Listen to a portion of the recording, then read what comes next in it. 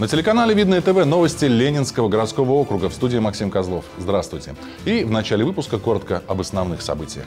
Выездная диспансеризация заработала в парке Опаренки. Так как здесь парк, э, многие люди просто гуляют, может, могут по пути прийти и сдать все сразу. Видновские мотоболисты приняли участие в социальном раунде «Трезвый водитель», который проводится в Подмосковье. Не пить за рулем! Сообщество любителей настольных игр появилось в Видном. Есть э, игры, где надо подумать, стратегию разработать на несколько шагов вперед. Есть ролевые игры. Теперь проверить свое здоровье видновчане могут по выходным в парке Опаренки. С 10 до 15 часов там работает выездная диспансеризация. Иван Никандрович, пенсионер в парке, оказался в субботнее утро не случайно, знал, что можно будет пройти диспансеризацию. Приехал вместе с супругой, говорит, возможность хорошая, чего же упускать. Все время надо следить не только в каком-то возрасте. Если молодой, все равно надо следить за своим здоровьем. Каждый желающий может проверить свое здоровье, сделать электрокардиограмму, измерить рост, вес, артериальное и внутриглазное давление, сдать кровь на общий анализ, узнать уровень сахара и холестерина. После проведения исследования врачи определят группу здоровья и при необходимости пригласят пациентов на более углубленную диагностику. Все результаты обследования придут в личный кабинет пациента на госуслугах. Ожидаем разное население. Те, кто работают в будние дни, в принципе, могут прийти также в субботу-воскресенье сдать. Э, Так как здесь парк, э, многие люди просто гуляют, может, могут по пути прийти и сдать все сразу. Предварительная запись не требуется с собой. Необходимо иметь полис ОМС, СНИЛС и паспорт. Здесь же можно пройти вакцинацию от COVID-19 или сделать повторную прививку. Подмосковье в рамках реализации нацпроекта «Безопасные качественные дороги» проходит социальный раунд «Трезвый водитель». Сотрудники ГИБДД Ленинского городского округа организуют профилактические рейды и просветительские мероприятия. Приняли в них участие и видновские мотоболисты. Несмотря на большие штрафы и угрозу лишиться не только водительских прав, но и собственной жизни, автолюбителей в состоянии алкогольного опьянения на дорогах, увы, меньше не становится. Так, в прошлом году в Подмосковье было зарегистрировано более 500 аварий с участием таких горе-водителей. В них погибли 182 человека и еще 595 пострадали. По статистике, каждое девятое ДТП совершается по причине управления транспортом в нетрезвом виде. С 11 по 31 июля у нас в Московской области проводится социальный раунд «Трезвый водитель». В рамках этого социального раунда различные мероприятия проводятся с различными категориями участников дорожного движения. Ну, естественно, в первую очередь это обращено на внимание наших водителей, управляющих автотранспортом, в том числе и мотоциклами. Среди прочего, стражи порядка встретились с мотобольной командой «Металлург». Наша команда, она достаточно известная, достаточно яркая. И лишний раз услышать от таких легендарных личностей э, слова, ну, как бы направления да, к образу жизни хорошему. Рев моторов, драйв и мастерство. За это видновчане любят мотоболистов «Металлурга». Как настоящие профессионалы, они прекрасно знают, что риск – дело, конечно, благородное, но только лишь когда он оправдан и действительно необходим. Даже трезвая голова не всегда оценивает объективно ситуацию. А уж не говоря, если принят алкоголь, это наверняка, как говорят правильно, он, он, он искажает действительность на дороге. Поэтому ни в коем случае желательно, чтобы все за руль садишься, забудь, забудь про алкоголь.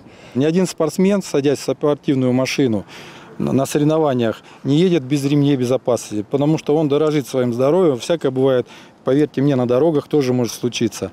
Тем более, скажем про алкоголь. алкоголь это вообще выпил, и мир становится другим. Мое пожелание – не пейте за рулем, пристегивайтесь, соблюдайте правила дорожного движения. Обращаясь к байкерам, соблюдайте правила, вот, э, соблюдайте скорость. Первое правило, чтобы вы были одеты, одевали шлем. Вот. э. Ну и самое главное, не превышайте скорость на дороге. Социальный раунд «Трезвый водитель» проходит при поддержке Министерства транспорта и дорожной инфраструктуры Московской области в рамках реализации нацпроекта «Безопасные качественные дороги». Кстати, принять участие в нем может любой желающий. Достаточно пройти социологический опрос на официальном телеграм-канале Госавтоинспекции Подмосковья. Это поможет в дальнейшем ведомствам сделать профилактические мероприятия еще более эффективными. Спортсмены команды «Металлург» обращаются к водителям. Не пить за рулем! Екатерина Борисова, Сергей Ларин, Елена Кошлева. Видно этого. Весной этого года в Видном образовалось сообщество любителей настольных игр. Клуб разросся и превратился в центр притяжения единомышленников, которые не только играют, но и общаются, делясь секретами мастерства. На одной из встреч побывала наша съемочная группа. Подробности в репортаже Юлии Погосян. Сейчас в клубе МИПЛ около 250 человек. Постоянного расписания игр нет, единомышленники собираются стихийно. Связь держат в одном из популярных мессенджеров. Базируется сообщество в кинотеатре «Искра». Мы вдохнули жизнь в кинотеатр, да, э, с учетом того, что мы сами знаем, что у нас происходит с кинематографом на сегодняшний день, особенно с зарубежным. После ковида люди устали от одиночества, да, и от закрытия дома. Они хотят собираться, они хотят общаться, и мы им даем возможность. Столы в холле кинотеатра доступны с 9 утра до 9 вечера. В эти часы члены клуба могут прийти и поиграть. Игры обычно приносят свои. В коллекциях некоторых геймеров десятки разнообразных настолок. Это прекрасное мирное хобби, которое развивает интеллект, и эмоциональный, э, э, и эмоциональный интеллект, и эмпатию, и многое-многое другое. Среди людей, которые занимаются настольными играми и погружены в эту тему какое-то время, я не встречал ну, каких-то неприятных или, ну, в общем, это всегда были положительные, приятные, приятные, классные люди. Даже люди, у которых есть игры, э, сталкиваются с такой проблемой, что нету людей, с кем играть. И здесь они получают возможность э, в разные игры поиграть э, с большим количеством народа. Я люблю играть в игры настольные, потому что они очень развлекают, в них интересно. Есть чем бы заниматься. И, и это меня очень впечатляет. Помимо этого у сообщества есть спонсор, который периодически предоставляет новые интересные игрушки. Мы э, оказываем спонсорскую поддержку, помогаем организовывать подобного рода встречи, организовываем турниры, являемся спонсорами э, игр э, и так далее. Навык уметь играть в настолки не обязателен. Представители сообщества всегда рады новым участникам и без труда обучают желающих. Здесь главное – интерес. МИПЛ – это центр притяжения единомышленников, для которых настольные игры – философия. Настольные игры – это уже давно не пресловутая монополия или какая-нибудь мафия. Их огромное количество. А жанры тоже очень разные. Есть э, игры, где надо подумать, стратегию разработать на несколько шагов вперед. Есть ролевые, где артистические какие-то данные э, очень важны. Есть э, сценарные, где команды, люди проходят, ну, грубо говоря, сценарий книги, только в книге финал один, а в игре они могут от своих действий прийти к разной концовке. За недолгое время своего существования клуб успел провести несколько любительских турниров. В планах продолжать эту работу. Участником сообщества может стать любой желающий. Возраст не имеет значения. Вся актуальная информация размещена на стендах в кинотеатре «Искра». Юлия Погосян, Александр Логинов, Екатерина Давлятова. Видно.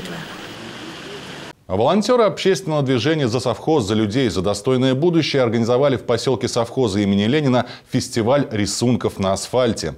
Благодаря большому детскому парку в летнее время поселок является местом притяжения детворы и взрослых не только Ленинского округа, но и Москвы и всего Подмосковья. Поэтому фестиваль рисования мелом на асфальте решили провести недалеко от входа в парк. Спонсором выступил основной акционер ЗАО «Совхоз» имени Ленина агрохолдинг «Рота Агро».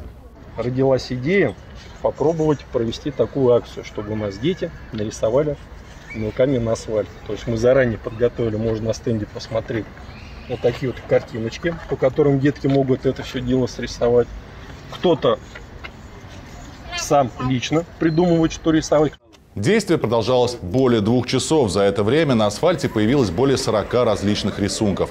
Глядя на творение своих чад в фестивале, с удовольствием приняли участие и взрослые. Все без исключения художники в качестве поощрения получили сладкие награды. Планируется, что подобные красочные мероприятия будут проводиться на постоянной основе. И это все новости на сегодня. В студии для вас работал Максим Козлов.